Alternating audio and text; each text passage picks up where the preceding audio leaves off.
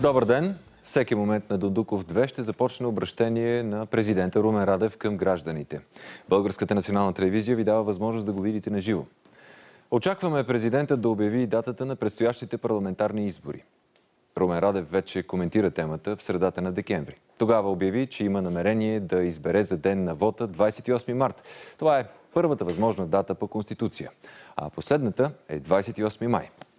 Още тогава президентът коментира, че всичко зависи и от епидемичната обстановка в страната и ще проведе консултации с здравни експерти по темата.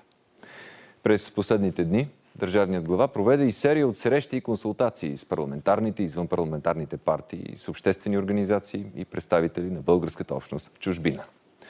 Пред Румен Радев бяха представени различни идеи за организацията на предстоящите парламентарни избори. Президента започва. Дошли на медиите. Уважаеми сънародници, обръщам се към вас в ден, в който последиците от наводненията в страната още не са отминали, а къщи, стопанства и пътища още са под вода. А хиляди хора посрещнаха тревожни, тъмни, студени нощи в страх от стихията и очакват подкрепа. Във време, в което институциите се изпразват от доверие и се сриват подобно на пътищата, тротуарите, подпорните стени и скъпата инфраструктура. Изборите добиват съдбовно значение. За първи път ще провеждаме парламентарни избори в условията на пандемия и, маш... и масивен машинен вод. От отговорността на институциите зависи съхраняване здравето на хората, гарантиране правото на глас на всеки българин – ефективността и прозрачността на изборния процес. Макар отдавна да бе известно, че тези избори ще се провеждат в условия на пандемия, никоя от отговорните институции не предпре адекватни законови и организационни мерки за подготовка за избори в тези условия, за гарантиране на прозрачност и повишаване на избирателната активност. Благодаря на всички, които се отзоваха на поканата ми за консултации. Откритите дискусии показаха, че въпросите са повече от отговорите и фокусираха общественото внимание върху необходимостта от адекватни мерки за преодоляване на днешните и на системните проблеми в българските избори. Благодаря и на вас, медиите, които излъчвахте директно в полза на българските граждани.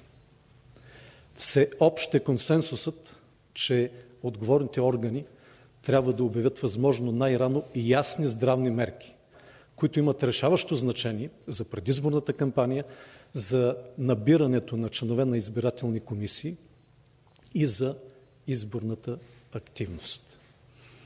Предоставянето от страна на държавата на лични предпазни средства, както на изборната администрация, така и на всеки гласуващ българин, е важна стъпка в тази посока. Открои се необходимостта от промени в изборния кодекс, които не бива да се изчерпват само с осигуряване правото на глас на хората под карантина. Очаквам законодателят да разгледа и гласува и други не по-малко важни предложения, като гласуване по почтата на българите в чужбина, които в редица страни ще бъдат силно затруднени и дори в невъзможност да упражнят конституционното си право на глас. Видеонаблюдение в изборните секции и излъчване на процеса на преброяване на бюлетините и оформяне на изборните протоколи.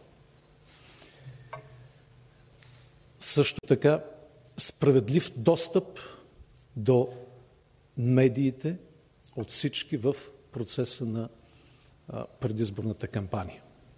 Премахване на ръчното броене на машинния вод. Доводите че броени месеци преди изборите не трябва да се правят промени в изборния закон, неведнъж са били пренебрегвани в българския парламент. Когато управляващите са имали интерес.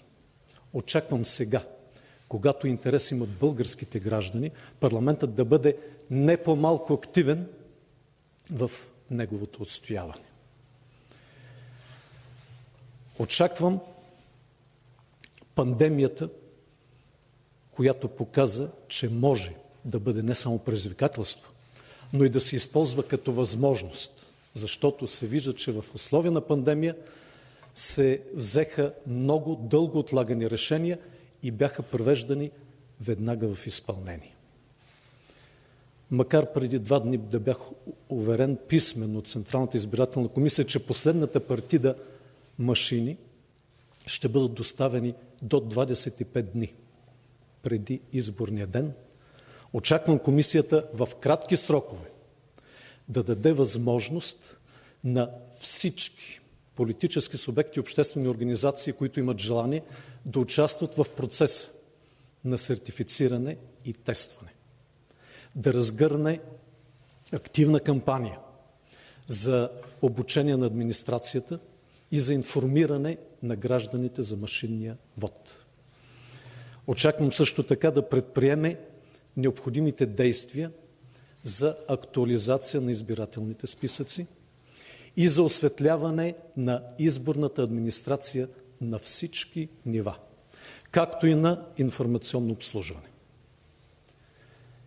Събитията от отминалата година ясно показаха, че българите желаят промяна, която да се случи максимално бързо и да върне страната в руслото на демокрацията. Кауза, която винаги съм подкрепил. Преодоляването на дълбоката криза, необходимите реформи и решения за възстановяване, модернизация и пълноценна европейска интеграция. Изискват час по-скоро да имаме легитимен парламент и активно, адекватно, действено правителство. В същото време дейностите, които трябва да извършат отговорните институции и изборната администрация за подготовка специално към такива избори, изискват време и пълна мобилизация. Затова днес подписах указ за провеждане на парламентарните избори на 4 април. Една седмица след първата възможна дата за избори. Тази седмица следва да бъде максимално ползотворена. Очаквам всички институции, които гръмко декларираха пълна готовност. Ръководството на българския парламент, което ни увери, че за една седмица може да приема необходимите закони, да работят така в това време, че да гарантират здравето и правото на глас на всеки български гражданин и не по-маловажно да го убедят, че неговият глас ще бъде коректно отчетен. Благодаря за вниманието.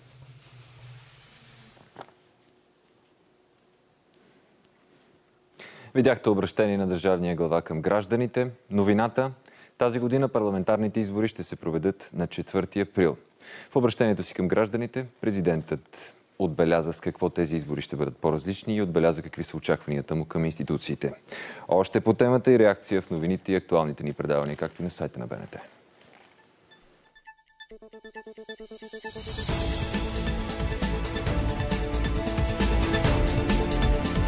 you.